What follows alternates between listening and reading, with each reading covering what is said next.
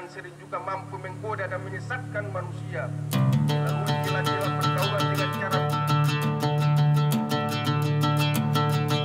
Meski tidak besar, Masjid Wapawe masih nampak berwibawa. Mungkin karena usianya yang sudah melewati enam abad. Masjid Wapawe didirikan pada tahun 1414 oleh Perdana Jamilu, seorang bangsawan muslim Kesultanan Jailolo dari Molokoki Raha atau Maluku Utara. Masjid ini awalnya bernama Masjid Wawane karena berada di lereng Gunung Wawane, perkampungan pertama penduduk Kaitetu bermukim.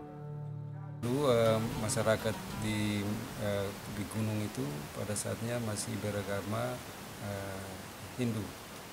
Nanti masuknya Islam itu dari salah satu pembawa Islam dari Hadratul Maut langsung dari negara Yaman.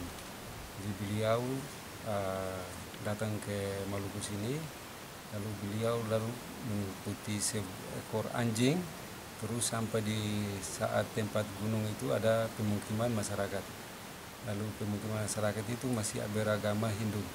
Lalu beliau sama masyarakat, lalu beliau uh, mengadakan uh, kegiatan juga sama masyarakat, lalu beliau menyebar agama Islam juga. Alhamdulillah uh, semua terima oleh masyarakat. Lalu dibuatlah masjid ini di tahun 1414 di namanya di Gunung Wawane. Nah, di situ Gunung Wawane itu tempat bukit yang pertama yang masyarakat uh, didirikan masjid ini. Namun bangunan Masjid Wawane tidak bertahan lama setelah pecah perang antara penduduk lokal dan Belanda tahun 1634. Kala itu Belanda berupaya menguasai tanah itu melalui VOC, perusahaan kolonial Belanda yang menindas. Keamanan warga muslim di kaki Gunung Wawane pun terganggu. Mereka kemudian sepakat memindahkan Masjid Wawane ke Tehala, sebuah bukit kecil berjarak sekitar 6 km arah timur Wawane pada 1614 Masehi. Jadi kedatangan bangsa POC itu Belanda itu masyarakat di Gunung Wawane tidak nyaman. Jadi kita punya salah satu imam kedua namanya Imam Rijali memindah ini masjid ini dari Wawane ke Bukit Tehala. Beliau sama masyarakat memindah. Itu jaraknya 6 km. Itu di tahun 1614. Lalu dibangun lagi di uh, namanya Bukit Tehala itu lalu ditaruh nama Masjid Tua Wapa Uwe. Jadi itu bahasa daerah Kaite itu sini Wapa itu mangga, Uwe di bawah. Jadi masjid didirikan di sekitar bawah pohon mangga hutan atau uh, mangga berabu. Masjid Wapawe memiliki corak arsitektur yang cukup sederhana. Masjid dibangun tanpa paku, tapi menggunakan pasak-pasak kayu untuk menyambungnya. Dengan demikian setiap bagian masjid dapat dibongkar pasang. Tidak heran jika masjid ini bisa dipindah. Masjid ini kemudian menyimpan lembaran Al-Quran yang diperkirakan merupakan musaf tertua di Indonesia dan juga timbangan zakat seberat 2,5 kg yang terbuat dari campuran pasir dan kapur dengan putih telur sebagai pelekatnya. Sampai tahun 1664 uh, masyarakat bangun pagi tiba-tiba melihat masjidnya sudah ada di sini. Jadi masjidnya uh, turun uh, dengan perlengkapan ibadah semua lengkap. Ada juga ibadah itu uh, terutama ada satu musab Al-Quran tulisan tangan yang ditulis oleh Imam Muhammad Arif Kulapesi iya, orang asli pribumi sini. Dan juga ada dia punya alat pembakaran kemenyan nah, kemenyan itu kalau kita di sini kan untuk untuk uh, para orang dahulu kayak sampai sekarang kan dipakai. Seperti orang meninggal tujuh tiga hari tujuh hari sembilan hari. Itu dipakai kemenyan kalau dia punya timbangan zakat fitrah itu dia punya pemberatnya dua kilo setengah itu campuran pasir dan kapur sama putih telur untuk pelekatnya. Jadi dulu itu kan belum ada beras. Nanti kita zakat itu pakai singkong sagu ya seberat batu itu. Dan juga ada satu buah tongkat khotbah yang dibawa oleh mubalik dari tanah Arab itu.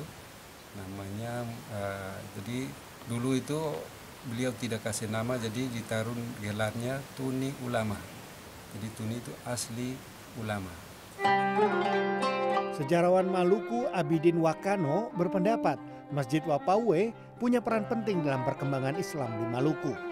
Masjid ini ia anggap sebagai bukti Islam pertama kali masuk ke Indonesia melalui jalur rempah-rempah di kawasan timur Indonesia. Sama kenapa saya katakan bahwa uh, Masjid Wapawe itu penting dalam sejarah Islam di Maluku karena dari uh, dia didirikan oleh uh, Perdana Jamilu dan kita ketahui bahwa salah satu dari turunan Perdana Jamilu uh, juga yang menulis uh, buku Hikayat Tanah itu pada abad 17 yaitu Imam Rijali.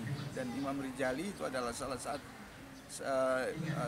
manuskrip dari Imam Rijali masih sampai sekarang yang dikenal sebagai uh, apa manuskrip dengan judul Hikayat Tanah itu. Masjid Wapawe Negeri Kaitetu, Leihitu, Maluku Tengah setiap hari didatangi wisatawan. Salah satunya Hendra yang jauh-jauh datang dari Jakarta. Dia penasaran Masjid Wapawe bisa bertahan enam abad. Luar biasa karena ini salah satu contoh konservasi uh, situs religi yang sangat baik yang memang harus semua dari uh, masyarakat Indonesia itu lakukan. Dan ini luar biasa karena uh, saya dengar tadi 14 14 ya didirikan. Dan sekarang uh, relatif terpelihara dengan baik. Dan uh, memang rasanya sangat menyenangkan uh, bisa sholat di tempat yang bersejarah seperti ini. Dan uh, tentunya uh, saya pribadi maupun mewakili institusi sangat mengapresiasi kegiatan-kegiatan konservasi situs-situs religi seperti itu. Menurut Raja Negeri Kaitetu, Muhammad Armin Lumaila, selain karena kuasa ilahi, Masjid Tua Wapawe bisa bertahan karena dilindungi oleh hukum adat. Dia unik dan masih bertahan sampai sekarang karena eh, dilindungi oleh hukum adat. Ini satu hal yang sampai saat ini juga selaku Raja Negeri Kaitetu kita sangat-sangat menghormati dan sangat eh, menghargai tentang hukum adat ini karena tidak tertulis tapi dia sangat kuat. Masjid Wapawe selain bangunannya terjaga juga menyimpan beduk tua yang masih digunakan setiap hari. Dan ada juga lampu peninggalan zaman Portugis yang berbahan bakar minyak kelapa. Masjid ini berukuran sekitar 10 kali 10 meter persegi. Bentuknya pun seperti bujur sangkar. Pola bangunan masjid pun masih tradisional. Dinding masjid terbuat dari gaba-gaba, pelepah pohon sagu yang dikeringkan.